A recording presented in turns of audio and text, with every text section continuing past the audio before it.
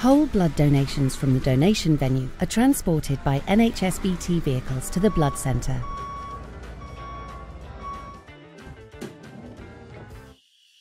where the donations are sorted and registered.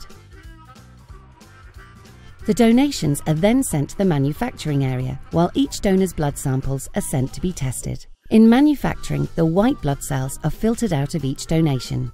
Each blood donation is then broken down into its separate component parts using a centrifuge.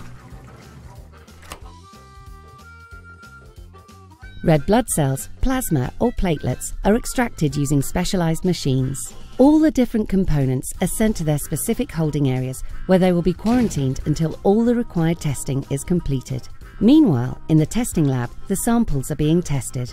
Each donation is tested to find out the donor's blood group and compared against your records if you've donated before. The donations are also checked for viruses to help ensure that each donation is safe to transfuse to patients. Once all the testing is complete and passed, each pack of blood can be labelled and placed into controlled storage, ready to be sent to hospitals. Most deliveries to hospitals go unnoticed by the public, but sometimes an urgent delivery may require a vehicle with sirens and blue flashing lights to get to the patient as quickly as possible.